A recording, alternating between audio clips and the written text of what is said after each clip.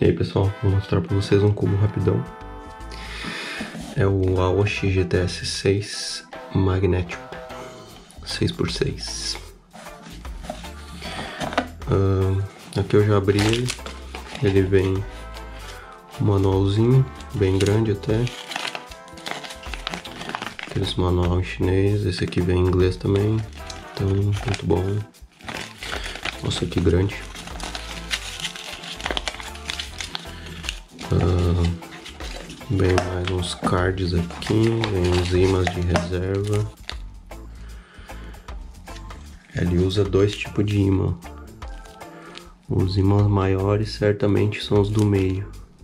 E esses mais fininhos aqui são os do, das, das laterais. Bem um card.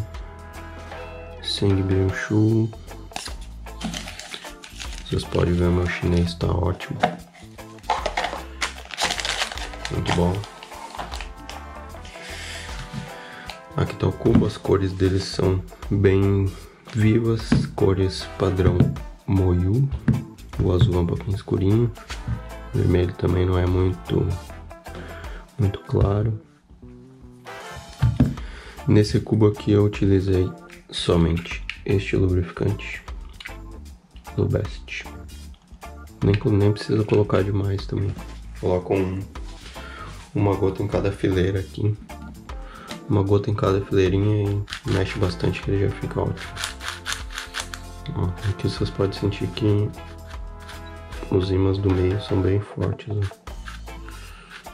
Aqui também.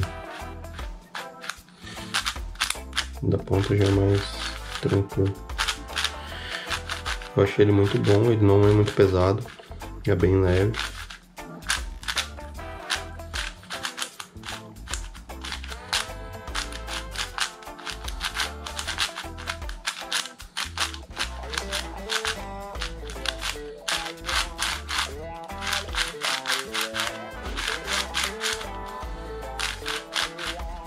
Mas eu achei muito bacana esse tubo aqui.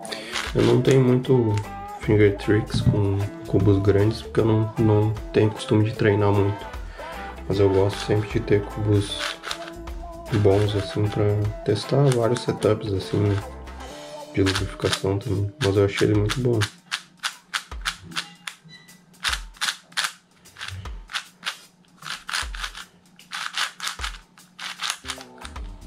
Então, fica aí a dica.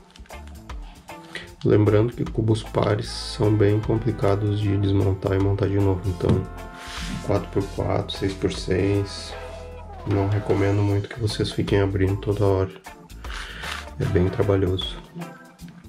Certo, se tiver alguma dúvida aí de, de preço ou alguma dúvida sobre o cubo aí, me pergunta aí nos comentários que eu respondo. Certo? Um abraço.